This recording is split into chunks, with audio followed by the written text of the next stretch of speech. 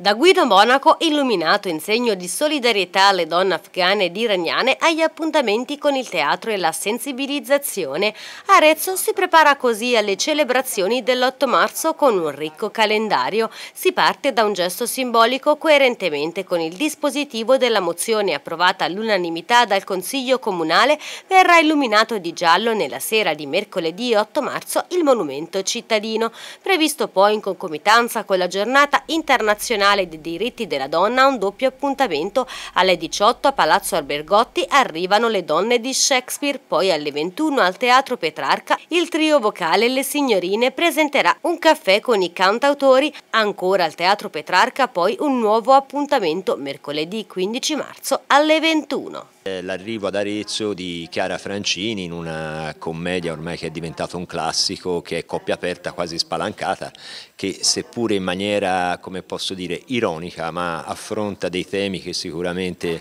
hanno a che fare con la differenza di genere e la percezione di che cosa può fare un uomo e che cosa può fare una donna. Tutti gli spettacoli sono assolutamente gratuiti, però eh, è obbligatoria la prenotazione, anche perché eh, ci aspettiamo appunto molta gente.